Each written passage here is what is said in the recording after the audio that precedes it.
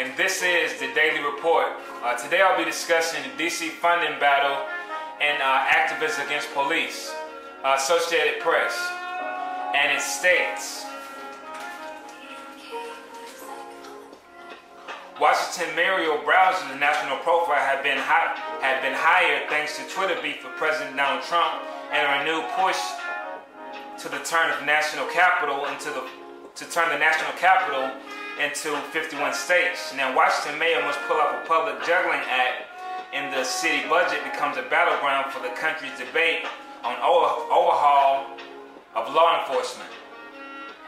Activist collective led by Black Lives Matter is trying to capitalize on, on shifting public opinion. And the demand includes major cuts in funding for Metropolitan Police Department. The District of Columbia Council had indicated it would push up to 15 million in cut, but Bowser is defending her 21 budget proposal, which includes 3.3 increase in police money.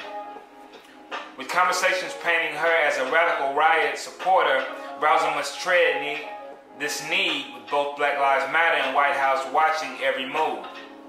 So shout out to you guys. In a similar dilemma to in a similar dilemma to that faced by the urban mayor protests, hotspots must be balanced, competing pressures without alienating either the activists or the police in Los Angeles. Mayor Eric Garcetti has faced criticism for not going far enough on law enforcement changes while police union has called him unstable. In Atlanta, Mayor Keisha Lance Bottom is dealing with the mass police not showing over handling of police violence cases. Bowser is also finding herself one of the public faces of Washington's quest to be a state. The House of Representatives on Friday voted largely along party lines approving bill to grant statehood. So that's a good move. Uh, it was the first time a chamber Congress had approved such a measure, but there's an insurmountable opposition in the GOP-controlled Senate, where Senate Tom Cotton a ARC single out of Bowser on Thursday had a reason that Washington cannot be trusted without statehood. Uh, he called her left-wing politicians who frequently takes the side of rioters against law enforcement.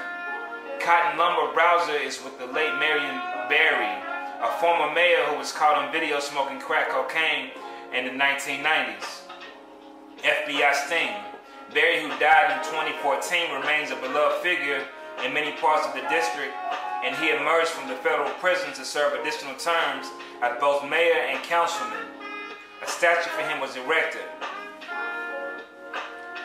And that does it for the Daily Report. Again, I'm Suoletnes. Uh, be sure to subscribe to anything Suoletnes. And uh, next week, you check out SuoletnesMusicGroup.com. And I would like to thank you guys for tuning in. Be sure to check me out. See you guys later. Bye.